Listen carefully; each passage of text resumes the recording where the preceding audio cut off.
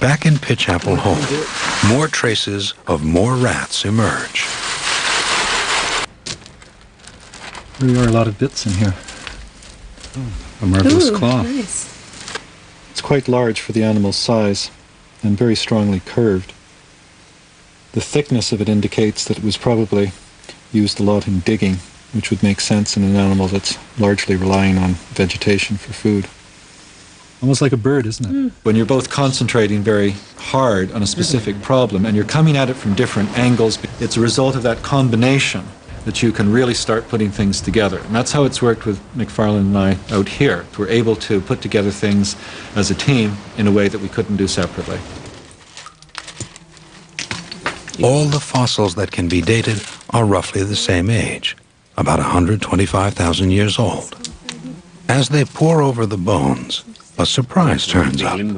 In size, they vary wildly. Aha, piece of incisor. Partly preserved, just the enamel cap.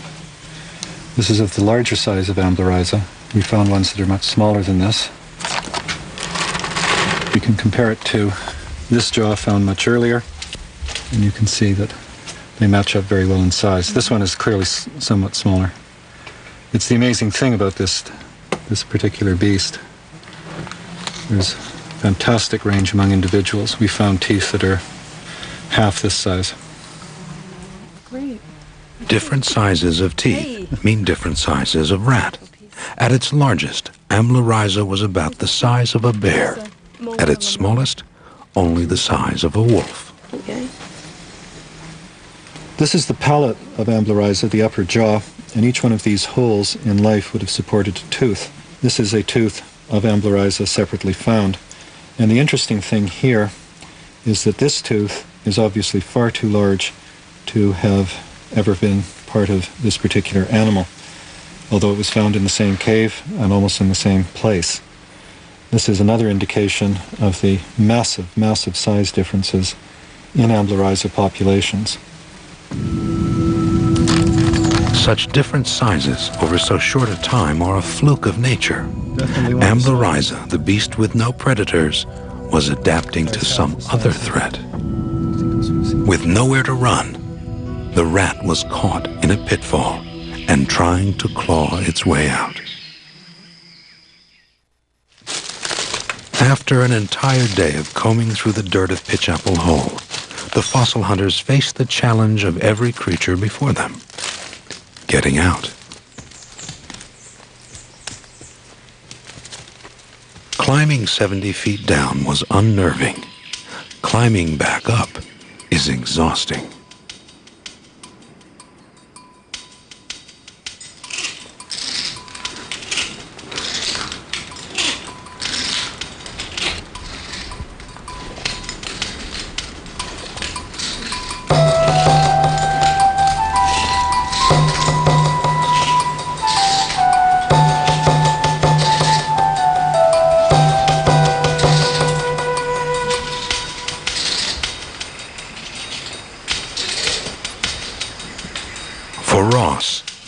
End of the day is the start of his worries. Looking up from the bottom of Pitchapple, 50, 60, 70 feet to the top, the thing that went through my mind mostly was having gotten down here, having found something, how am I going to get my fossils back up and my person? After 12 hours of digging comes the labor of climbing.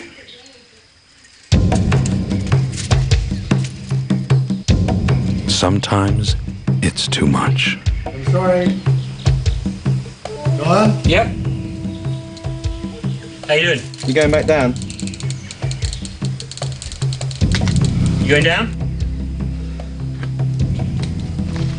I just seem to get spooked at this point. Okay. You wanna you wanna reverse? I'm afraid I'm going to have to. No problem.